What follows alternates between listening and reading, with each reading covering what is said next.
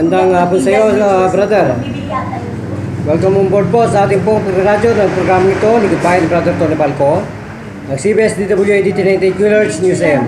Ano pong naging daan at kayo po ay uh, naglihan, nagkaroon ng tiwala at simpatsya na subukan ng programa ito, Ligod Bayan. Ano pong naging sakit? Mas papasma lang po sa katawan. Mga Asma, bakit naglabasan na po ang inyong mga bukil-bukil na mga pawis niyan? So, gano'n po kayo napasaya ngayon? Masaya, masaya po talaga. Ano po ang dating nararamdaman?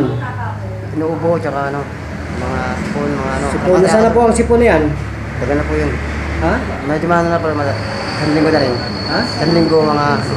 Wala. Yung sipon mo na sana? Wala na po, wala na. Wala na.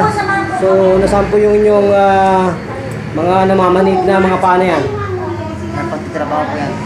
So, masakit pa? Hindi na po. Hindi na masakit? So, kayo po kayo lubusan na ligayan? Opo. So, kung gano'n po, magpasalamat po kayo at magpakilala. Ano pong tunay na pangalan? Roldan Sumailo po. Ano po? Roldan Sumailo. Roldan Sumailo. Rolgan Sumailo. Sumailo. Rolgan Sumailo.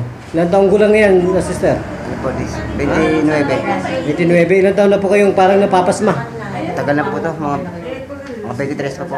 23, parang ah, sa- sa lagi po kayong lagi po kayong mapawisin. Ganun Ganun sige po. Pasmado po pa kamay. My God. So, tumutubig po ang ah, mga kamay. Po. Lahat ng buong katawan. So, magpasalamat na po kayo sa ating programang ito, Lingkod Bayan Brother Tony Falcon. Sige po. Salamat po. Maraming Okay. kapal Ah, kapatid paniwala po ba itong programang ito, Lingkod Bayan? Panipaliwala po kasi lahat po ng sakit makakagaling ng ano. Okay. Kung ganun po, ah, papalam tayong ating pong programang ito, Lingkod Bayan. Ito pa rin po ang nagulat at nagbibigay pugay sa bansang Pilipinas.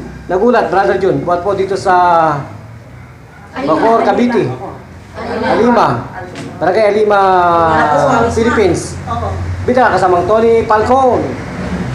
Thank you, Master Kusang Babay.